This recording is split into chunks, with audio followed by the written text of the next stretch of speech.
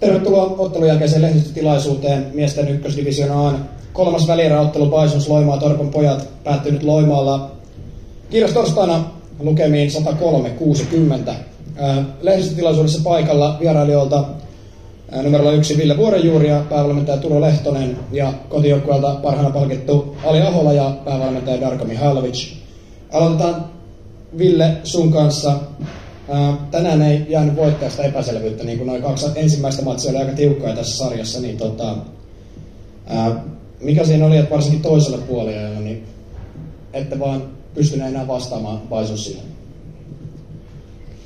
No onnittelut Bisonille tuli tähän peliin niin kuin selkäseinää vasten peleihin kuuluukin tulla. Ja meillä taas sitten ehkä se kuului sanoa vähän liian hyvä olo. Oli jo tuossa niin matkalla bussissa tänne päin sitten toki kreditit äänekkäille loimaalaisyleisölle, että saivat onnistumista hengen päälle ja siihen kotiyleisön tuki ja meillä taas oikeastaan aika päinvastainen, että ei päästy oikein missään kohtaa vastaamaan, ei myöskään saatu itse henkeä päälle ja, ja aika näytöstyyliin, niin tämä erä meni kyllä, kyllä Bisoneille. Vielä ensimmäisellä puolikkaalla olitte ihan kivasti Bisoneiden mukana molemmat jaksot siinä 24-19. Ää, esimerkiksi Alvar Mikkelisen siinä vaiheessa 18 pistettä taululla ja vaikutti siltä, että voitte vielä tulla takaisin, mutta sitten kolmannen jakson alkuun niin, niin kävi jotain. Ää, Tulitteko ehkä vähän huonolla jalalla kopista vai tuliko Bisonit vaan kovaa? Bisonit ehdottomasti tuli kovaa oikeastaan pelin alusta, mutta myös siihen kolmannen jakson alkuun. Ja, ja siinä oli se paikka, missä meidän olisi pitänyt pystyä sitten vähintään roikkuun mukana. Kaksi aikaisempaa ottelua ollut tosi kolikon heittoja suoraan sanottuna ihan loppuun asti, että, että, että nyt ei sitten saatu sellaista aikaiseksi. Että, niin sanoin, sitten kyllä kunnia, kunnia kaverille, että pisti meidät, näy, sai meidät näyttämään aika heikolta tänään. Kiitoksia Ville. Onko lehdistöllä lisää ei ole. Siirrytään kotijoukkue.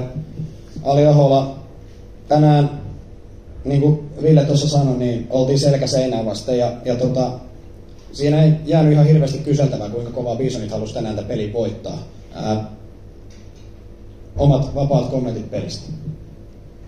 No ei kai siinä muuta kuin, että häviöllä kausi olisi loppunut tähän, että haluttiin voittaa ja tänään pelattiin hyvin molemmissa päissä hyökkäyspuolustus. Öö, tehtiin 100 pinnaa, Vihulainen teki 60 pinnaa, niin ei siihen hirveästi mitään epäselvää. Toka puolelle kolmannelle edelleen taisi ratketa, että en tiedä loppuko puhti vai mikä. Vaikutti siltä, että tänään niin pallo liikkuu jonkun verran paremmin ehkä hyökkäyksestä. Ainakin näytti siltä tuohon tota, katsomon puolelle, niin löytyykö siihen jotain kävittekö video läpi TMS? Mikä, mikä, sieltä, mikä sieltä aukesi tänään niin sanotusti? No, ei nyt varsinaisesti hirveästi mitään taktisia muutoksia tehty. Että tänään oli hyvä päivä, kaikille tuli, monen pelaajan tuli onnistumisia ja silloin se näyttää kivalta. No se on just näin. Onko lisäkysymyksiä? Ei ole. Kiitoksia Ali, pelaajat voi poistua.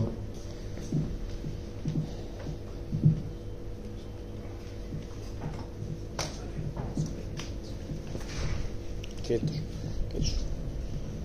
Jatketaan Topo päävalmentaja Turo Lehtosen kanssa. Aika erilainen peli kuin kaksi ensimmäistä tässä sarjassa ja, ja tuntuu, että, että tänään ehkä jäitte vähän telineisiin. Ää, vapaat kommentit, minkä takia Vaisus oli tänään noinkin paljon parempi kuin mitä, mitä tulos antaa ymmärtää. First of all, congrats to Bisons. They came today playing for the season and uh, we were playing for a extra ice swimming day, and uh, they. Uh, I'm glad that they wanted to make this statement because now my players are. Um, now, now that uh, we don't need to motivate them anymore to Sunday now. The two previous games have been conflicts, and uh, we were uh, we, we had we were too sure about ourselves. We were in too good humor before the game. And they made a statement and uh, they played well. Um, uh, in previous matches, um, you've been really careful with the ball. Um, throughout the season, you were really careful with the ball. Tonight, 22 turnovers. Does it tell more about maybe uh, the the good feeling you uh, you talked about on your team, or or does it tell uh, something about Bison's defense as well? Of course, a little bit of both, but what did you comment on that? Yeah, of course, a little bit of both. But um, we were not playing in our system uh, defensively, offensively, and uh, thi- this is the result. Mm, does Press have more for Turo? No, thank you.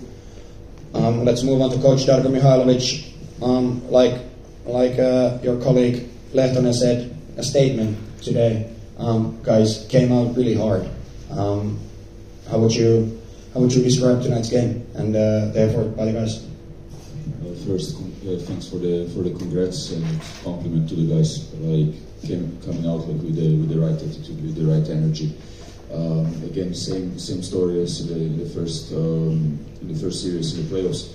Um, nobody gave up. Nobody said like, I don't want to play. I don't want to like fight. Like we, we came out like it, it's for sure like a statement um, to show that we are, we are still alive, that we are still breathing, and um, like Tule said, um, the previous game was, was, was already like a coin flip, and, and uh, yeah, series is like going on. Like we we took what they gave us today, we did our job defensively, and. Um, we didn't most importantly like we never gave up even the game when it was like tight and and um, was was I, I think that maybe like the score is a little too high for how the game was like the game was like tight in the first quarter there was still like some up and down moments like in the second quarter we managed to get like with plus 10 like into the halftime but um, all the time like we continued to play. No matter like offensively defensively we made mistakes. It was not a perfect game but but still like we, we managed like to continue like to play. No matter was it a missed shot? Was it was it here something easy that, that we allowed? Was it some pick and roll defense that we that we didn't execute like right or something like that? We still continued. We never gave up. For that I have to give my guys like a huge compliment like that's the right way to play Um, I think that sums up quite well. I don't have anything else to ask. Does anybody else? No. Thank you to both coaches, and let's continue on Sunday.